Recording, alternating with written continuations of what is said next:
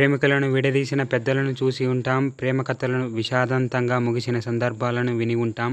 ప్రేమను గెలిపించే పోరాటం పిడకల సమరం మాత్రం మనకు అరుదుగా కనిపిస్తూ ఉంటుంది.